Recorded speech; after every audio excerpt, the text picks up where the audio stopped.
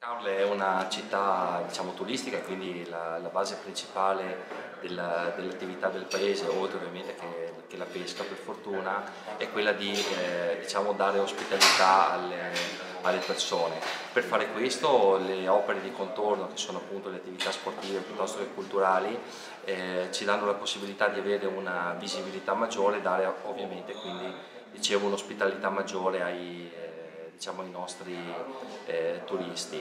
Eh, questo aspetto è molto importante per, per, noi perché è importante che la gente che viene a Caorle eh, abbia da, da, vedere più cose possibili, abbia più opportunità di scelta nel, diciamo, nel, nel panorama delle iniziative che, che, che, ci sono qui a Caorle, quindi siamo sempre molto contenti di ospitare eventi di questo tipo che ci danno una rilevanza sia nazionale che internazionale davvero notevole. Uh, well, you know, we had uh, for last uh, what already three years. Uh, i was coming with Samara to Italy. We were in the major uh, two years ago. Uh, you know, and I like it. Okay, I'm an Italy fan. You know, this is the thing. You know, I played in Italy. I like it. You know, my daughter studied in Milan, so it's like a lot of connections. and you know, when last year we were here. I really like it. You know, like uh, the gym is good.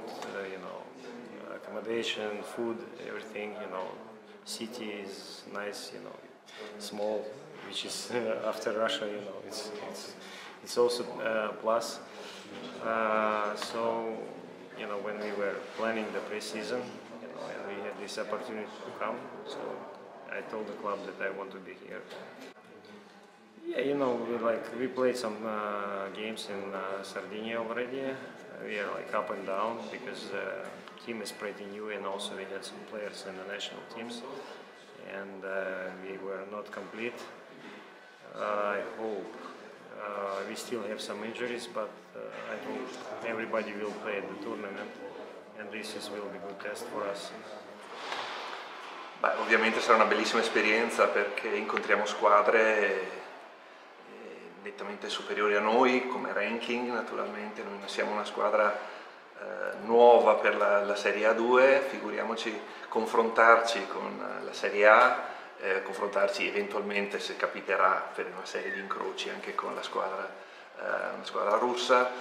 Eh, per noi speriamo possa essere vogliamo divertirci, vogliamo essere competitivi, o quantomeno essere dei buoni protagonisti di questo torneo. Il livello tecnico sicuramente il nostro non è paragonabile, però cercheremo di sopperire con, con l'impegno, con tutto quello che abbiamo, i nostri ragazzi sono giovani, speriamo che possano fare esperienza, su questo contiamo, che facciano esperienza, si confrontino con una fisicità diversa, con una tecnica sicuramente diversa, superiore, Speriamo di fare un passo avanti noi e di riuscire ad essere dei buoni sparring partner anche per le squadre di Serie A.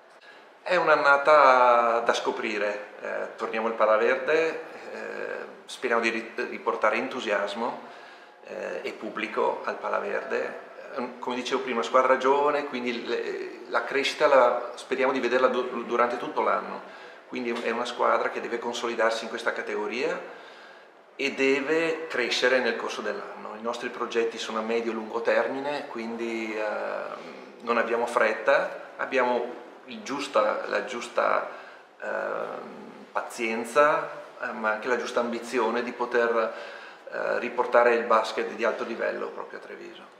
Il progetto Pasto al Giorno è nato nel 1985 dopo una visita del nostro fondatore Don Oreste che andò a visitare la nostra missione in Zambia venendo a contatto ecco, con il grosso problema della malnutrizione di tutti questi bimbi malnutriti, scoprì che con, bastavano 10.000 lire del tempo, oggi 15 euro al mese, per poter garantire almeno un pasto al giorno per ogni bambino.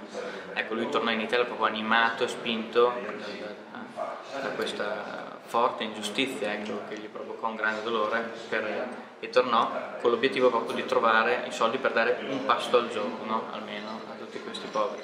Oggi la comunità è presente in 32 paesi all'estero, oltre che in Italia, e abbiamo mense per i poveri, abbiamo capanne di Betlemme in Italia che sono strutture che accolgono senza fissa dimora, abbiamo una mensa in Bangladesh, a Chalna, eh, abbiamo centri nutrizionali in Africa, eh, come DOR per poveri in Sud America. Ecco, diciamo che proprio vuole essere, oltre che un'iniziativa di raccolta fondi attualmente per poter mandare avanti questi progetti, anche proprio un'opera di sensibilizzazione, di giustizia, eh, di rimozione delle cause, per cercare di arrivare eh, a vivere quella società del gratuito che il nostro fondatore ha tanto sognato.